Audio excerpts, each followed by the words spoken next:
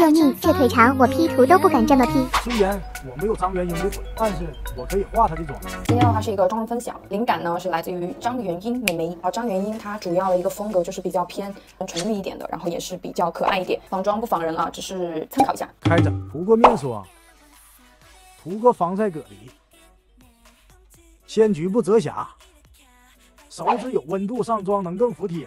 但是你晕的时候就不能整个压上去晕，你只能晕一点那个边边。准备二次遮瑕，水泥灰的这种颜色，这个的话就很适合用来遮痘印，用手指的温度把它晕开，然后跟刚刚的这个亮的颜色混合在一起，在手上试一下，刷出来是那种薄薄的又能盖得住的那种就 OK。拍上去，然后再把边边晕染一下，局部遮瑕和眼下的地方定一下妆，整个底妆妆面就特别的清透。修容膏，修一个短圆的下巴。画重点了啊！现在要用腮蓝去边做提亮，然后边把我们这边压的没有那么的油。蘸完粉之后，蓝掉多余的，然后把那个粉滚在你的皮肤上，那就不会去破坏你的底妆。眉毛的话，它的走向是往下走的，比较无辜的眉毛，不太有什么眉峰，就是这样的一个顿顿粗粗的平眉。然后从这个位置开始画我们的鼻翼，鼻翼要修的小一点，这样的话显得比较。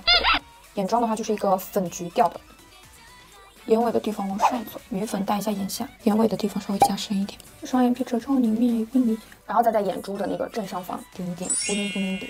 或者我们先打量一下眼头的位置。张元英它是一个内双嘛，但是我的双眼皮是个平行的，所以我要把我这个褶皱里面画加深一点，让它看起来像一个扇形的双眼皮。画一下那眼线，它的那个睫毛好难找到一样的，找了个类似的。把胶水吹到半干，小心翼翼的带上去。等它完全干之后，把真假睫毛夹在一起，这边的假睫毛就 OK 了。来画卧蚕，卧蚕我们把它分段画，你不能直接一长溜过去。笑起来的这个位置，画一点点小小的阴影。看这个卧蚕，它就是又饱满又自然。下睫毛的话就不用画特别密。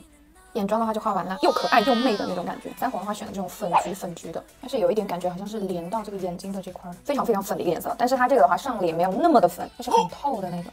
口红的话选了一个比较粉调的，然后外面再叠一点这种水润质感一点的，这个颜色真的很女团。然后的话就是灵魂的两颗痣，